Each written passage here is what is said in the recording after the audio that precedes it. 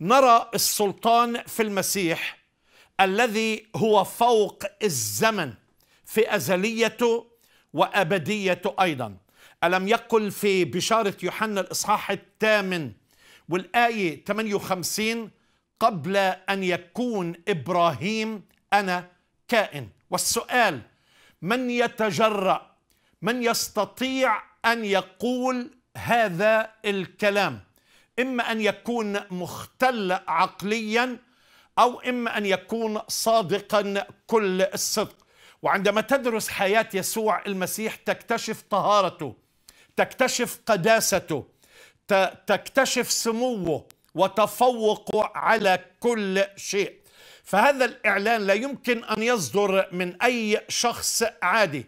فكون أن يقول قبل إبراهيم قبل أن يكون إبراهيم أنا كائن فإذا هذا قمة الإعلان وهذا يتخطى الزمن سواء الماضي سواء الحاضر سواء المستقبل.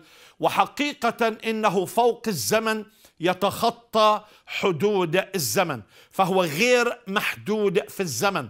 تستطيع أن تقرأ هذا الشيء في سفر الرؤيا.